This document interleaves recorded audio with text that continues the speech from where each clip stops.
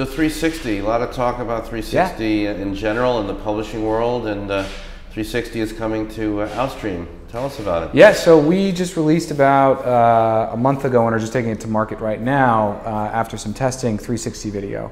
Um, I think there's been a little bit about 360 video in our industry trades recently.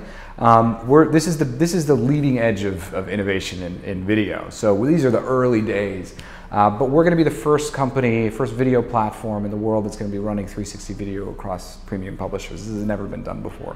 So a brand can now have um, as close to a VR experience as possible embedded within you know, Time Inc. properties or Condé Nast properties or Washington Post, right? And there's, there's exceptional value to that, um, especially as we, we continue to innovate around 360 video and release it on mobile. So it's an organic move for the consumer. And of course, that's going to drive massive performance upticks for brands because there's no better way to engage people um, than immerse yourself in their physical world. And that's what 360 video is there for.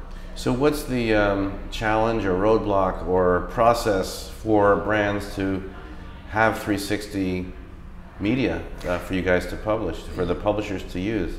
Yeah, I mean that's that's the challenge at the at the in the early days is that the creative agencies need to produce 360 video, um, and I think with Facebook going out strong with 360 video and, and us being in lockstep with them there, um, you know, going in concert to the marketplace and letting the creative agencies know that it's available should help to to expedite the process of, of starting to see some really extraordinary creative.